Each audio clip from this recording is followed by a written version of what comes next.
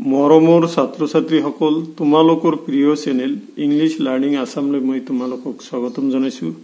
আজি মই তোমালোকৰ অহা H S first year final examination two thousand twenty থ্ৰীৰ প্ৰস্তুতি হকে ইকনমিক্সৰ এটি অতি দৰকাৰী আৰু গুৰুত্বপূৰ্ণ ভিডিঅ' লৈ উপস্থিত হৈছোঁ। আজি মই তোমালোকৰ আগত ইকনমিক্সৰ দুই হাজাৰ ষোল্ল বৰ্ষৰ H S first year final এক্সামিনেশ্যনৰ এটি পেপাৰ চলিউশ্যন লৈ আহিছোঁ। আৰু এই কুৱেশ্যন পেপাৰখনৰ পাৰ্ট এ অৰ্থাৎ ষ্টেটিষ্টিক্স ফৰ ইকনমিক্স অৰ্থাৎ অৰ্থনীতিৰ বাবে পৰিসংখ্যা আৰু বৰ্তমান এইটো পাৰ্ট বিত থাকিব। সেই পাৰ্ট বিৰ অতি চমু আৰু চমু প্ৰশ্নৰ উত্তৰসমূহ লৈ আজিৰ ভিডিঅ'টো আৰম্ভ কৰিব ওলাইছোঁ। বলাচোন মৰমৰ ছাত্ৰ ছাত্ৰীসকল এই পৰীক্ষাত অহা অতি চমু আৰু চমু প্ৰশ্নৰ উত্তৰসমূহ কি সেইখিনি জানিবলৈ প্ৰয়াস কৰোঁ।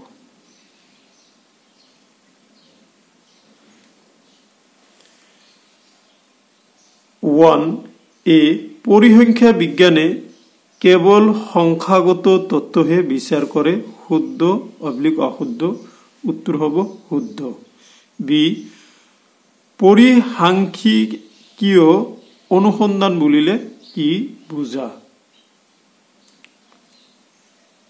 তথ্য বা জ্ঞানৰ সন্ধানক পৰিসাংখ্যীয় অনুসন্ধান বুলি কোৱা হয়। কি কৈছে? যে তথ্য বা জ্ঞানৰ সন্ধানক আমি কি পৰিসাংখ্যীয় অনুসন্ধান বলো? সি নম্বৰ প্ৰশ্ন প্ৰাথমিক তথ্য কি? প্ৰথমবাৰৰ বাবে সংগ্ৰহ কৰা তথ্যক আমি প্ৰাথমিক তথ্য বলো। মানে যিবিলাক তথ্য আমি প্ৰথমবাৰৰ বাবে সংগ্ৰহ কৰোঁ, পৰিসংখ্যা বিজ্ঞানত, সেই তথ্য তথ্যসমূহক আমি প্ৰাথমিক তথ্য বলো। ডি, তলৰ তথ্যৰ পৰা বহুলোক নিৰ্ণয় কৰা। Two, three, five two two seven five two মৰমৰ ছাত্ৰ ছাত্ৰীসকল এই বহুলোক নিৰ্ণয় কৰাৰ এটি সহজ পদ্ধতি মই তোমালোকক শিকাই দিছোঁ। পোন প্ৰথমতে তোমালোকে বহুলোক নিৰ্ণয় কৰিব দিলে প্ৰথমতে যিখিনি তথ্য দিয়া থাকিব সেইখিনি ঊৰ্ধক্ৰমত সজাবা।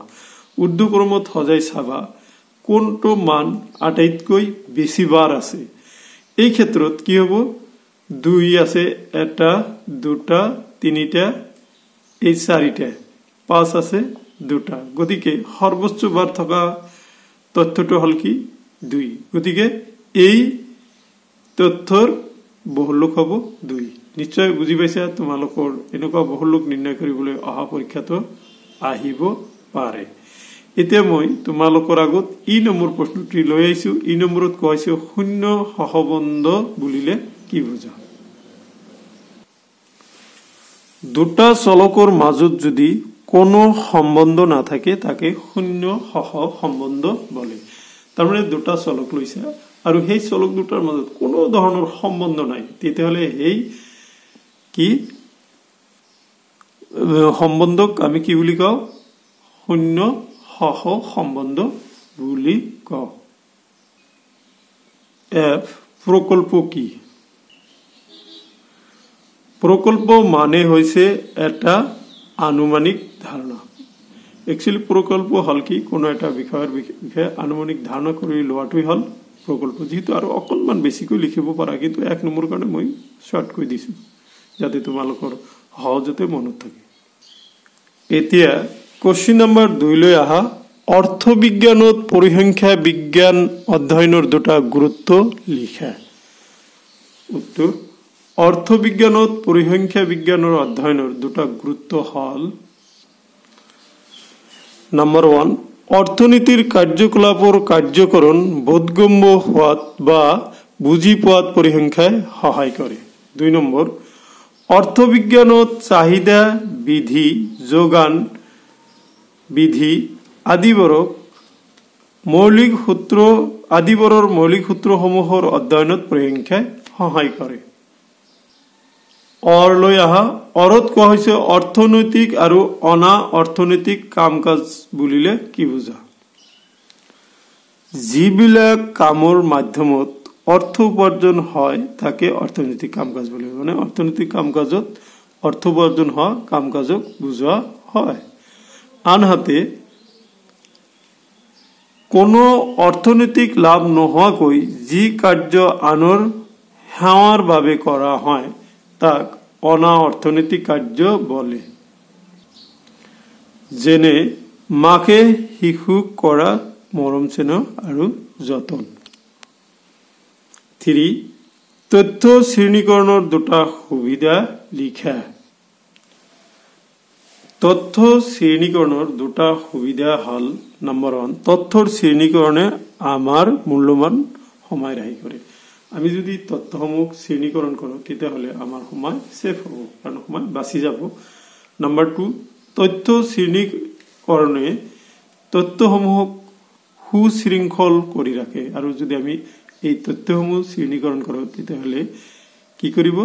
এই তথ্যসমূহে কি সুশৃংখল কৰি ৰাখিব তথ্যসমূহ? প্ৰশ্ন চাৰি, গৌণ তথ্যৰ দুটা উৎস উল্লেখ কৰা।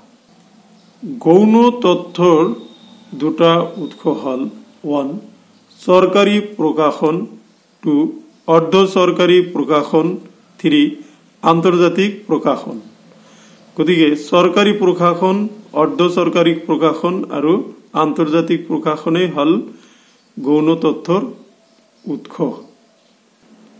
সমান্তৰ মাধ্য কি ইয়াৰ একটা সুবিধা লেখা very important question for your upcoming examination কোন তথ্যরাশির মানসমূহ যোগ করি, যোগফলক মুঠ তথ্যৰ দ্বাৰা সংখ্যাৰে হৰণ কৰিলে যি মান পোৱা যায়, তাক সমান্তৰ মাধ্য বলে।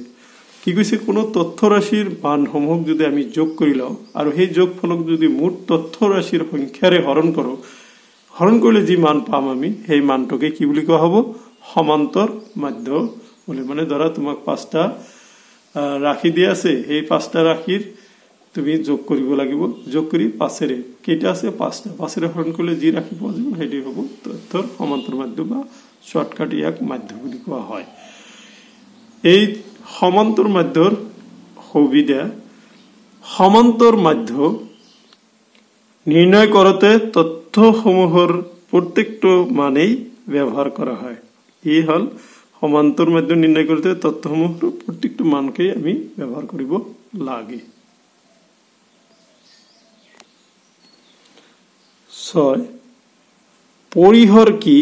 তলৰ তথ্যৰ পৰা পৰিহৰ নিৰ্ণয় কৰা ৰেঞ্জ ইংৰাজীত ইয়াক ৰেঞ্জ বোলে forty six fifty seven twenty eight sixty five eighty five sixty one fifty eight